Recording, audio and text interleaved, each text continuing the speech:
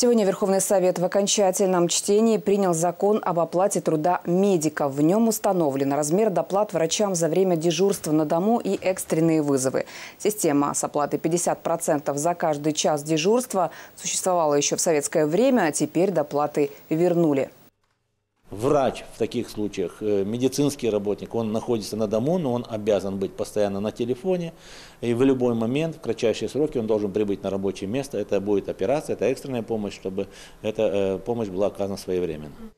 Дежурного врача для срочной помощи могут вызвать и днем, и ночью. Теперь эти дежурства будут оплачивать. График дежурств будут устанавливать главврачи, а сумму надбавки в ближайшее время утвердит правительство. С 1 июля закон вступит в силу.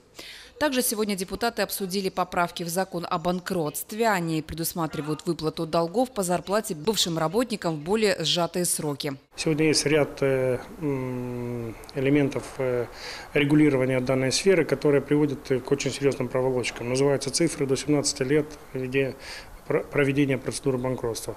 Э, мы этим серьезно озабочились и хотим сделать законодательство именно такое, чтобы процедура проходила быстро, по мнению депутатов, процедура банкротства должна занимать не более двух лет. Имущество предприятия будет сразу оцениваться и выставляться на торги, чтобы можно было побыстрее вернуть долги по зарплате.